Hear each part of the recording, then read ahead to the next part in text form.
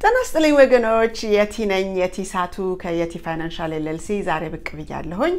ዛሬ ደግሞ እንግዲህ የምንማረው ስለ financial service industry recruiting ማለት ነው። እንግዲህ በ website ኤ ላይ ስራ ለምትፈልጉ የሚል አለ። እሱ ስላለ ምን ማለት እንደሆነ እሱንም ለማብራራት ፈልጌ ነው። ስለዚህ financial service industry ወይም በ brokerage እንደኔ በ financial service brokerage ስር ላለ ሰው እንድትሰሩ ከኔ ጋር አብራችሁ እንድታድጉ ፈልጋለሁ ብዬ ለምሳሌ ጋብዣችሁ presentation ስሰጥ እያንዳንዱ ሰው everywhere presentation ሲሰጥ excitement ይኖራል። ግን ከ excitement ውጭ ሆኖ ረጋ ብሎ የሰው ልጅ የትም ቦታ ይግባ የትም ግን መጠየቅ ያለበትን ጥያቄ ነው ዛሬ ላስረዳችሁ የምፈልገው። ያ ማለት ምንድን ነው? recruiting ብለው የሚጠሩት ነገር ብዙ ነገሮች በተለያየ ሁኔታ ሲገለጹ ልክ በቃ አላደል እጃችሁን እንዲህ ከዘረጋችሁ ገንዘቡ ይመጣል እንዴ part time income የማይፈልግ ሰው አለ ወይ? ምን ሆነሃል? ምን ሆነሻል? የሚል የማግባባት ግብዣዎች ወይም ደግሞ presentation ኦች ይታያሉ። በሁሉም brokerage በኩል ያሉ agent ኦች ሌላን ሰው ማምጣት ሲፈልጉ በ industry standard ሳይሆን በ excitement ለማምጣት ይሞክራሉ። እኔም ለምሳሌ በፊት የነበርኩበት ድርጅት ውስጥ በእንደዚ አይነት excitement ነው ገብቼ የነበረው እና ከገባው በኋላ ግን ሳየው ነገሩን ከዛ ደግሞ በየአካባቢያችሁ ቢያንስ ሶስት አራት brokerage firm ኦች አሉ same thing በ recruiting system የሚሰሩ ግን አንዱን ከአንዱ ስታመዛዝኑ ከገባችሁ በኋላ ብዙዎችን ሰብስባችሁ ካመጣችሁ በኋላ ስትነቁ ግን አንደኛ it looks very embarrassing እነዛን ሰዎች ተመልሶ face ማድረግ ያስፈልጋል። ተሳስቼ ነው እና ያመጣኋችሁ ወደሚቀጥለው ጋር እንሂድ ሲባል አሁንም ደግሞ ምን እያደረገ ነው ወይም ምን እያደረገች ነው ደግሞስ የት ይዛን ትሄድ ይሆን የት ይዞን ይሄድ ይሆን የሚል ትንሽ respect ን lose የሚያስደርግ ነገር አለ። ምክንያቱም ጥናት ሳይደረግበት ስለሚገባ ማለት ነው። ስለዚህ ነገሮችን በሙሉ financial service ኡ የሚፈልገው እያንዳንዱ ሰው informed educated በሆነ ሁኔታና በጣም professional እና highly regulated የሆነ ኢንዱስትሪ ስለሆነ እያንዳንዱ ነገር ግልጽ መሆን አለበት ሰዎች ሲገቡ። ለምሳሌ አንድ ሰው recruit ሊደረግ ሲል cost ኡ ምንድን ነው ብሎ መጠየቅ አለበት። cost ኡ ለምሳሌ እያንዳንዱ brokerage firm እናንተ በያላችሁበት ቦታ ያሉት በየ state ኡ ያለው ሰው ከ10 ብር ጀምሮ 49 ብር charge የሚያደርግ አለ 99 dollar charge የሚያደርግ አለ መቶ የሚያደርግ አለ 125 የሚያደርግ አለ የተለያየ price ነው ያለው። ያ ምንድን ነው member ለመሆን ነው እዛ ውስጥ ማለት ቢዝነሱን ለመጀመር ፍቃደኛ ነኝ ብሎ የሚገባ ሰው ነው። ግን ምን ያህል ዝግጁ ነው ያ ሰው ያውቀዋል ይሄንን ስራ ምንድን ነው ከሱ የሚጠበቀው ከእሷ የሚጠበቀው የሚለውን ነገር ነው። አንዳንድ ጊዜ ከከፈልም በኋላ ያንን በመክፈላችሁ recruit ያደረጋችሁ ሰው የሚያገኘው ዜሮ አምስት ሳንቲም የለም። Yes አንዳንድ company ዎች እንደ contest ያደረጉትና በወር ውስጥ ሀያ ሰው በወር ውስጥ ሰላሳ ሰው recruit ለሚያደርግ ሰው አምስት መቶ ብር ዘጠኝ መቶ ብር ሺ አምስት መቶ ብር እዚህ እንሰጣለን ይላል ግን እንደዛ ብለው በሚሉበት ጊዜ ግን ያ ስራው require የማያደርገውን ሰው ሳያውቅ basically advantage በሰው እንደመውሰድ ማለት ነው። ግን ብዙዎቻችን በምናውቃቸው በ family በ friends ቤተሰብ ውስጥ ባሉ ወይም database ኦቻችን ውስጥ ባሉ client ኦች ነው እነዚህን ነገሮች የምንለማመደው እና ይህን ነገር በምናደርግበት ጊዜ በኋላ ላይ discover ሲያደርጉ ይሄ ምል ከእነሱ ጋር የማይሄድ ቢዝነስ መሆኑን ሲያውቁ ምንድን ነው የሆነው? የምናውቃቸውን የምንወዳቸውን ሰዎች አስር ብር አንድ gallon milk የሚገዙበት ወይ ሁለት gallon milk የሚገዙበትን መቶ ብር ሲሆን ወይም መቶ ሀያ አምስት ብር ሲሆን ዘጠና ዘጠኝ ብር ሲሆን የሳምንትም ግሮሰሪ ሊሆን ይችላል አንዳንድ ሰው እና ከሚያስፈልገው ሰው አፍ ወስደ በጣም ትልቅ giant ለሆነ broker ገንዘቡን ማስረከብ ማለት ነው። at the end of day produce የማያደርጉ ከሆነ ዋጋ የለውም ማለት ነው። እነዚህማ ከሆነ እጃችሁን ዘርጉ ብር ዱብ ዱብ ይላል ተብሎ ሰውን recruit የሚደረግ ከሆነ እኮ that means ዓለም በሙሉ በዶክተርና በ lawyer ትሞላ ነበር። ምክንያቱም በጣም ብዙ ሰው ዶክተር ስትሆን lawyer ስትሆን ብዙ ገንዘብ ታገኛለህ ይባላል አይደል እንዴ? ያንን ማድረግ ያልቻለበት ምክንያት እያንዳንዱ ሰው ለምንድን ነው በ profession ኣችን የተለያየ ነው። ውስጣችንን መርምረን ለእኛ አለመሆኑን ከተረዳን በኋላ ወደ ሌላ profession የዞርን ሰዎች ስለሆንን ነው እንጂ ዓለም ሁሉ እንደዛ easy እንደሚወራው reality ው ሳይሆን እንደሚወራው ቢሆን ኖሮ ሁሉም ሰው በአንድ አይነት level ላይ ይኖር ነበረ። ስለዚህ ሁሉን ነገር ጥናት መደረግ አለበት፣ መጠየቅ አለበት። አንዳንድ state ኦች ለምሳሌ background check ያስፈልጋቸዋል፣ fingerprint ያስፈልጋቸዋል። እኔ ባለሁበት አካባቢ ለምሳሌ ዋሽንግተን ዲሲ background check አያስፈልግም፣ ቨርጂኒያ ያስፈልጋል፣ ሜሪላንድ ያስፈልጋል፣ ሌሎችም ፍሎሪዳ fingerprint background check ያስፈልጋል፣ አትላንታ no fingerprint no background check እና የተለያየ ነገር price ኡም ደግሞ ከ state state activate ስታደረጉት አንዱ ጋር ሀያ ብር ያስከፍላል፣ አንዱ ጋር ስልሳ አንዱ ጋር መቶ ራቅ እያልን ደግሞ እንደየገበያው ወደ ካሊፎርኒያም ስንሄድ ሁለት መቶ ከሁለት መቶም በላይ ይሆናል activate ለማስደረግ ብቻ ማለት ነው እና በውስጡ ያሉትን ነገሮች መረዳት። መመዝገቢያው ስንት ነው ብሎ መጠየቅ፣ background check ያስፈልጋል ወይ? ከዛ በኋላ ደግሞ ምልህ ወጪው ከታወቀ በኋላ study material ወጪው እንግዲህ መመዝገቢያ፣ መማሪያ፣ study material፣ የ state board exam መውሰጃ እና አንድ ሰው ካለፈ በኋላ error and omission E and O የሚባል ኢንሹራንስ አለ። እያንዳንዱ ሰው አሁን የነበርኩበት በፊት ለምሳሌ E and O error and omission ኢንሹራንስ ሲገዛ በድርጅቱ ስም ነው የሚገዛው። ስዊች ሳደርግ ነው ያወቅኩት በድርጅቱ ስም መገዛቱን። ግን አሁን ያለሁበት ቦታ ደግሞ እኔን ነው insured ያደረግኩት። እኔ ለማጠፋው ጥፋትና ለምሰራቸው ፖሊሲዎች ለማስተምራቸው ነው insured የሆንኩት እንጂ ድርጅቱን አይደለም። እና እነዚህን ጥቃቅን ለውጦች ስናይ really በጣም ብዙ ነገሮች ነው በውስጡ የምንማረው እና ትንሽ ረጋ ብሎ ማየቱ በጣም ተገቢ ነው። ስለዚህ ቢዝነሱን ከጀመርንስ በኋላ እንዴት ነው is there a potential to grow ብለን ስንጠይቅ ብዙዎቹ በ30 percent ይጀምርና ኮሚሽን rate ኡ እስከ ዘጠና ድረስ የሚያድጉበት አለ ወይም ከዛም በታች ሊሆን ይችላል። ያ ማለት ምንድን ነው? አንድ ሰው በ30 percent ሲገባ እና የመቶ ብር ፖሊሲ በወር ቢሸጥ አንድ ሺ ሁለት መቶ ማለት ነው እንግዲህ የእሱን 30 percent ወደ 360 300 ምናምን ብር ያገኛል ማለት ነው። ያ ምን ያህል ደቂቃ ነው የሚፈጀው? ወይም ደግሞ ያንን ስንሸጥ ለዛ ለሰው ያ ሰው ምን ያህል ተረድቷል? ነገ ሌላ company የተሻለ እንዳለ አውቆ እንደገና cancel የሚያደርገው ከሆነ እኮ ያ የሸጠው ሰው ምንድን ነው የሚሆነው? charge back የሚባል ነገር አለ። የበላውን መልሶ ይከፍላል። እና ከእውቀት ውጭ የሚደረግ ነገር መጨረሻው ጥፋትም ሊሆን ይችላል። ስለዚህ percentage ኡን ማወቅ ያስፈልጋል። ከ percentage ኡ ባሻገር ደግሞ ከ30 ወደ 40 ለመሄድ ከ40 ወደ 50 ለመሄድ ምንድን ነው የሚያስፈልገው? ብዙዎቹ ድርጅቶች በ director level ለመድረስ maybe between five to eight years የሚፈጅባቸው የፈጀባቸውን ሰዎች አይተናል። ከዛ ባሻገር ደግሞ እያንዳንዱ ፖሊሲ አመቱ አልቆ የሚቀጥለው አመት ሲጀምር አስራ ሁለተኛው ወር አልፎ አዲስ አመት ሲመጣ ማለት ነው የፖሊሲው anniversary year ማለት ነው renew በሚያደርጉበት ጊዜ ወይም ደግሞ ይቀጥላል ያው እስከ መቶ ሀያ ዓመታቸው ወይም በዚህ ዓለም እስከምንኖርበት ድረስ በተለያየ ምክንያት cancel እስኪያደርጉበት ድረስ የ company company መለያየቱም አንዳንድ ነገር ሲፈጠር ማለት ነው እና ያ በሚፈጠርበት ጊዜ ሰዎቹ አንድ ፖሊሲ ከሸጡ በኋላ ኮሚሽኑን ምን ያህል ነው ወይም ደግሞ ያንን 360 አንዴ ነው የሚያገኙት ወይስ በተለያየ ጊዜ trails renewal ተብሎ የሚከፈላቸው ነገር አለ? trails renewal ኡን ብዙ company ዎች director ካልሆነ በስተቀር ወይም የተወሰነ position ላይ ካልደረሰ በስተቀር trails renewal ሁል ጊዜ እደሳው ማለት ነው 12ተኛው ወር አልፎ የሚቀጥለው አመት ሲጀምር ያንን trails renewal የሚከፈለው እላይ ያለው ሰው ነው። ግን ይሄንን customer in reality አምጥቼ አነጋግሬ አስተምሬ ፖሊሲውን የሸጥኩት እኔ ነኝ።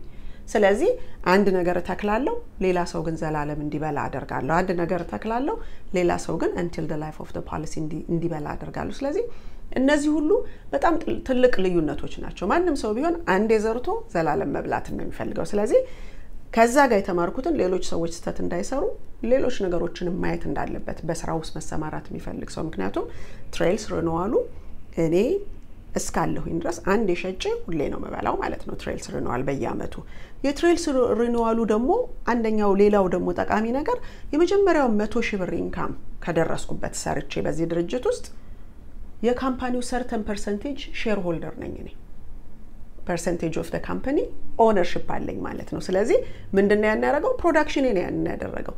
ከዛስ በኋላ አንዴ እዛ company shareholder ውስጥ ከገባ በኋላ አሁን እኔ ባለሁበት company ከሁሉም ሀምሳውም state ካሉ agent ኦች ከሚሸጡት ላይ override አለኝ። ስለዚህ የሁሉም agent income በ override bonus pool የሚሆን ምንም የኔም income አለበት። ስለዚህ የግድ support ም እንደራረጋለን። ፍቅርንም ሊያካትት ይችላል። ግን financially it's not only what I sold but I start overriding everybody in company እና እሱ ነው አንዱ ትልቁ ነገር። ስለዚህ አንድ ጊዜ ከተሸጠ በኋላ ሁል ጊዜ መመገብን ማንም ሰው ነው የሚፈልገው። ትልቁ ነገር ደግሞ እኔ የሸጥኳቸው ፖሊሲዎች እኔስ በህይወት ባልኖር ምን ይሆናል ተብሎ ሲባል እኔ በህይወት ባልኖር እዚህ shareholder ነት ውስጥ የመቶ ሺህ ብር income አግኝቼ ከዛ በላይ አድጌ ከመቶ በላይ ለምሰራቸው ነገሮች ወይም እዛ እዛ circle ውስጥ ብቻ shareholder circle ውስጥ ከገባው በኋላ ብሞት እንኳን የሸጥኳቸው ፖሊሲዎች ወደ ልጆች የ trails renewal ኡ ይሄዳል።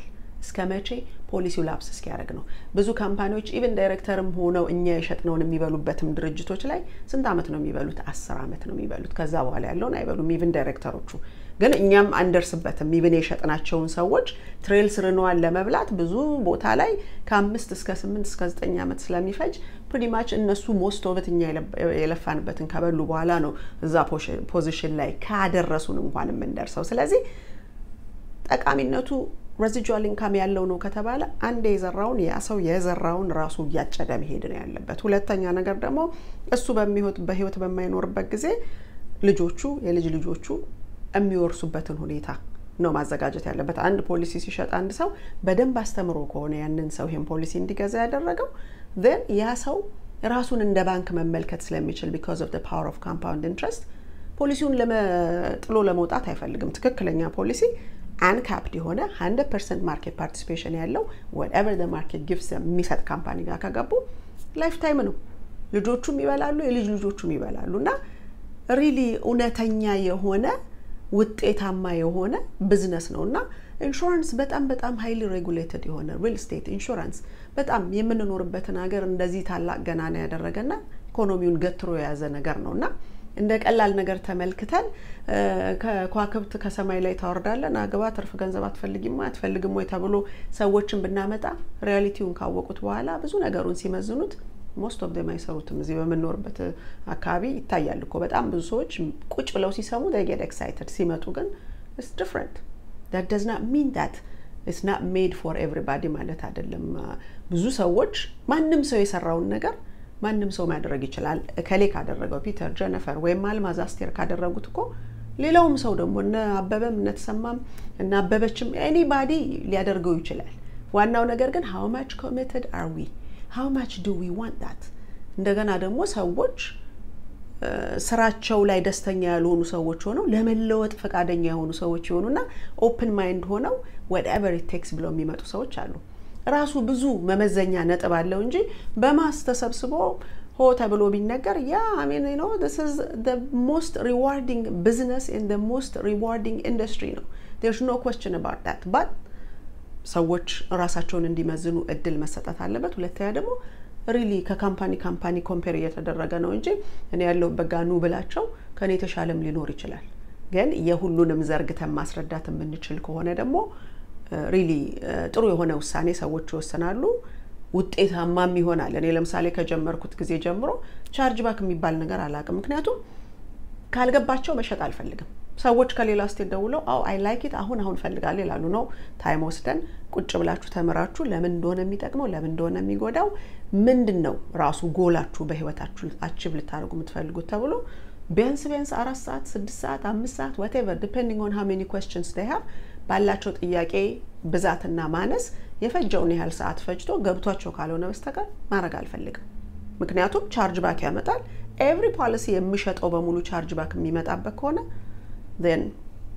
something red flag ነው እና ይሄ regulated የሆነው ኢንዱስትሪ የገባው በሙሉ የሚወጣ ከሆነ እና እኔም ደግሞ እንደገና የከፈሉኝን መልሼ ከፋይ መሆን ከሆነ there's something wrong there ማለት ነው። ስለዚህ በስራው ደረጃ it's a wonderful business like I said ትንሽ research ይፈልጋል እና product ን በሚመለከት capped uncapped 100 percent market participation uncapped ሲሆን 70 percent market participation ያላቸው ድርጅቶች አሉ። uncapped አለኝ ይላሉ፣ ግን ስናት 100 percent እና ለምሳሌ 31 percent ብዬ በሌላ ቪዲዮ ላይ ጠቀስኩላችሁ የ1997ኑ ባለ 70 percent market share ግን uncapped አለኝ የሚሉት ጋር ሲሆን 21 percent ነው የሚመጣው እና እነዚህ እነዚህ ነገሮች አንድም percent ቢሆን it means a lot cap ማለት ጣሪያ ማለት ነው። የመጨረሻው maximum ልታገኙ የምትችሉበት። uncapped ማለት ደግሞ ጣሪያ የሌለው the limit እንደማለት ነው። ስለዚህ huge difference አለው። product ኡን በዛ አነጻጽሩ። service ኡን ለመስራት ለምትፈልጉ በሙሉ I'm welcoming everybody። የትኛውን ቦታ ቢሆን መግባት መሰራት ያለበት ነው። ግን አንዴ ዘርቶ ሁሌ መብላት ነው ወይስ አንዴ ዘርቶ አንዴ ብቻ በልቶ ሌላውን ለሌላ ሰው ማብላት ነው? company shareholder አለ።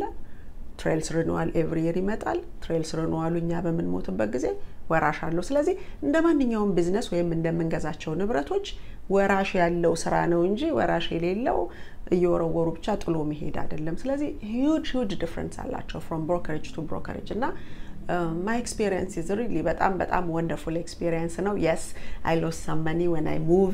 አንዳንድ ጊዜ ብዙ team build አድርጋችሁ move ማድረግ ስትፈልጉ በጣም ከባድ ነው የሚሆነው እና ያንን ላለማድረግ ይህን ሁሉ ሰው produce የሚያደርግ ሰው ጥዬ እንዴት ሄዳለሁ ብሎ ረጅም ጊዜ ከቆየ በኋላ የሚነቃ ሰው ብዙ suffer ያደርጋል። እያወቀ መጥፎ product እንዲሸጥ ራሱ ወይም ደግሞ ዝቅ ያለ product እንዲሸጥ forced ይሆናል። ያንን ገንዘብ በሚመለከትበት ጊዜ ማለት ነው። ስለዚህ ከገንዘቡ በፊት ሰዎቹን አስቀድመን ሰዎቹ truly ሊጠቀሙ የሚችሉበትን መንገድ በምንፈልግበት ጊዜ ግን እያንዳንዱን ድርጅት investigate አድርገን የትኛው ጋር ለ agent ኡም ሆነ ለ consumer ኡ ሊጠቅም የሚችል product አለ የሚለውን መመዘን እንችላለን ማለት ነው። ስለዚህ ዛሬ financial service industry ን መስራት ለምትፈልጉ website ኡን እኔም ጋር ለምሳሌ የቲ financial dot com ውስጥ ብትገቡ career opportunity የሚል link አለ። እዛ ውስጥ click ስታደርጉ አንዳንድ ቪዲዮዎች ምናምን ይኖራሉ እዛ ውስጥ። ግን ያ ማለት እንዴት እንደሆነ አሁን እንደማስረዳችሁ የሚያስረዳ ነገር የለውም። ግን ነው በምን ምክንያት ሰዎች ከአንድ ቦታ ወደ ሌላ ቦታ move ለማድረግ እንደሚነሳሱ ነው የሚያወራው እና